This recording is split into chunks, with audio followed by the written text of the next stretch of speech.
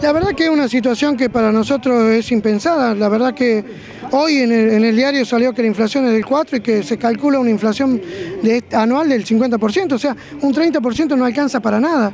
Incluido que el año pasado ya perdimos el 15% y no se nos reconoció eso.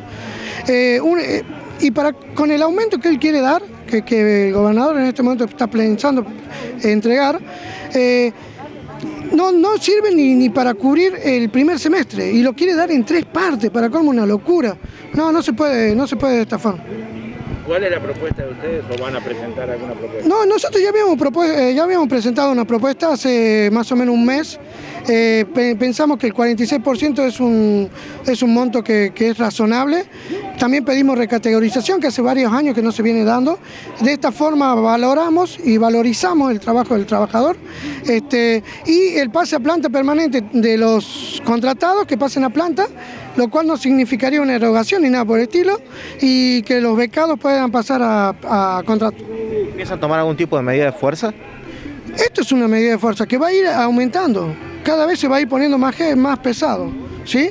Eh, vamos a empezar con asamblea, asamblea en los lugares de trabajo, y bueno, la última etapa va a ser este, la movilización.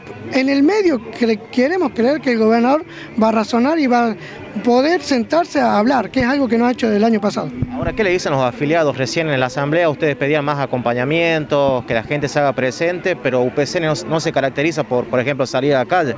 No, la verdad es que somos un gremio dialoguista, porque nosotros creemos que el diálogo es el camino hacia los consensos y el trabajo serio eh, a largo plazo. Eh, por ejemplo, nosotros hace muchos años venimos hablando con, los ministros de Economías el blanqueamiento del sueldo y lo veníamos haciendo bien. Con esta nueva gestión se ha complicado eso. Siempre hay que pensar en largo plazo para el beneficio de los trabajadores, porque no se puede cambiar de un día para el otro. Por eso somos dialoguistas. ¿Para cuándo la nueva reunión? Eh, vamos con el acá en, Tanto acá como con la gente del gobierno.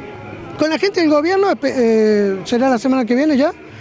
Eh, y con los, con los trabajadores el mismo miércoles vamos a andar pabellón por pabellón y no crean que esto es todo. Tenemos que ir a OSEP, a las escuelas, a, a las postas, salud, tengo que, mil lugares para recorrer. ¿Qué opinión le merece lo que acordó ATSA con el gobierno?